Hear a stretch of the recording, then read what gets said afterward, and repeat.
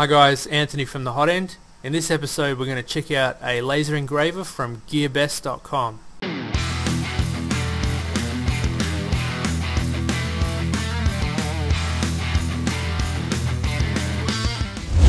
So the folks over at GearBest were nice enough to give me an allocated budget to pick anything off their site to review for you guys and um, rather than do it just another 3D printer I chose this. This is the A3 Pro laser engraver. I got this one specifically due to its large uh, engraving size. So you got 300 by 380 mil of laser engraving space. And the price, $341 free shipping to Australia. The machine itself is pretty basic on how it works. You've just got your X and your Y axes controlled by your three steppers. So you've got a stepper on both sides and one on the Y axis here. The laser is 2.5 watts on this model but you can get the 5.5 watt model but um, that one jumps up substantially in price to 585 whereas the one I have here is the 2.5 watt model which is 341 but that all depends on what you're engraving. It arrived nicely uh, it was packaged very well everything was sorted for you. All the nuts and bolts and screws were all there all laid out for you. Nice so it'd be a quick nice assembly. The only thing missing was instructions. There were no instructions whatsoever on the website. None on the nothing arrived in the package with instructions. They, they just were non-existent. So I was able to install and build the machine in about two hours just based on the pictures on the website here basically there's not much to do. You can see here if I zoom in. So based on these pictures I was able to build the machine in two hours whilst doing other things just uh, taking my time. There really isn't that much to it. It's pretty simple in how it works.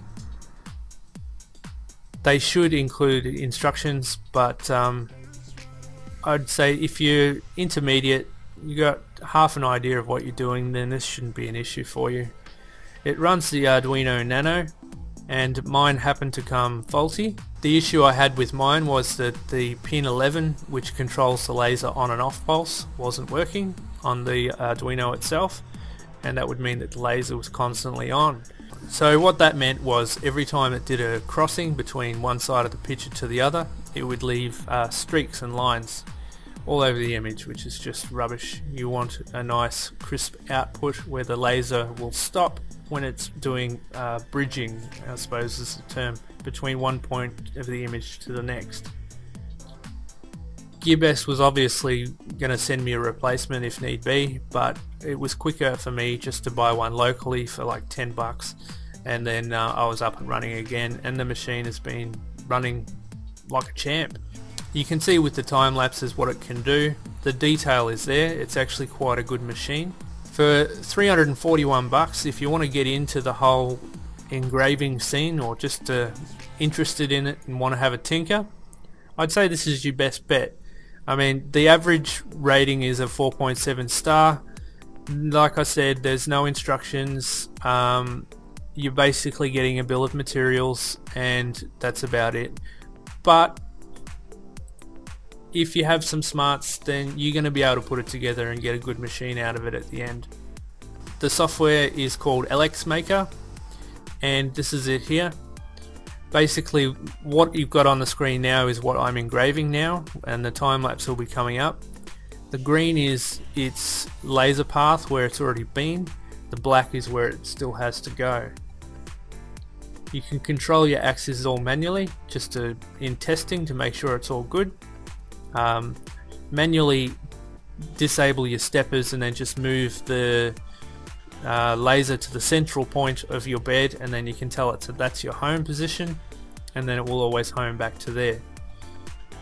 Up here you've got a cool preview option and once you click that the laser will move around on the actual uh, unit itself to show you where the, the total maximum size of the engraving is going to be.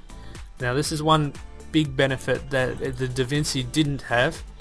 It um, it does like a mock uh, square around where it's going to be lasering so you know exactly where to place your object. Uh, that leads me to the next thing. The laser itself is basically on, out, on or off so you don't get grayscale like you do on the DaVinci Pro laser engraver. That's not such a big deal if you're doing um, engravings like you can see that I'm doing. It's just on off but I'm sure there are third-party software that will let you do that by adjusting the acceleration over certain points to decrease the laser's ability to penetrate. penetrate. Under gallery it comes pre pre-configured with a heap of images you can choose from. Um, I'm doing this one here. I don't want to really mess with it too much because it is live sending um, laser commands to the machine or G-code to the machine. But uh, yeah, you can use any of the predefined images just to get you started to have a play, or you can import your own by going to Pixcarve. And then uh, this is the Alice in Wonderland picture, which I don't think I can show you, but uh, yeah, you can see the time lapse for that. So yeah, you can import your own images. It's got TextCarve, which is a simple enter your text, pick your font, and then tell it to write whatever you want on whatever you want, which is handy. And of course you can load G-code from external software. Configuration itself was pretty easy. All you needed to do was to go into this screen here, select the machine type, which was the A3, upload your ROM file to the Arduino Nano, and then uh, it, it just works. Overall the process to me was very easy.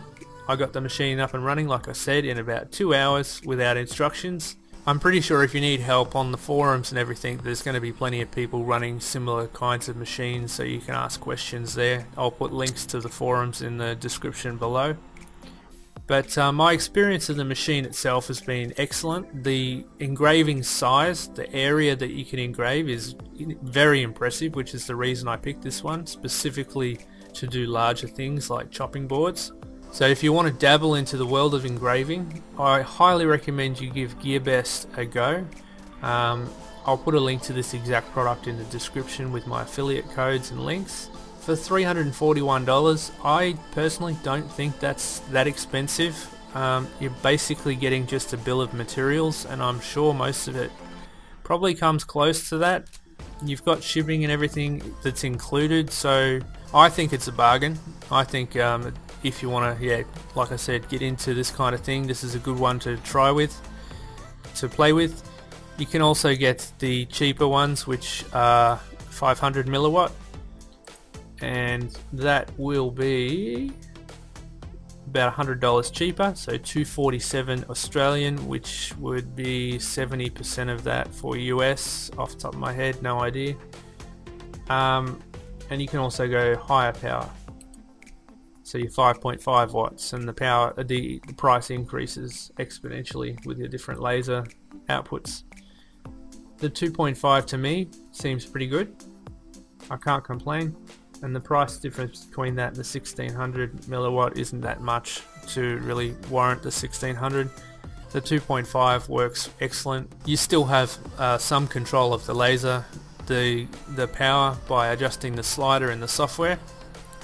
So if I go back to here you can control the laser output so if yeah, if you want to get into this kind of thing, I highly recommend you give this one a go. Affiliate links will be down below. I want to thank GearBest for sending this over to review. It has been a fun experience. Um, most of the other laser engravers I've played with have been quite small, and it's nice to have a have a large one to do larger things. Anyway, I hope you like this review. I do recommend you give this one a go but keep in mind that you are basically buying a bill of materials only. Again, overall, very happy with it. Highly recommend you give this one a crack if you want to play with lasers. And, uh, oh, that, that brings me to the next point. Be safe.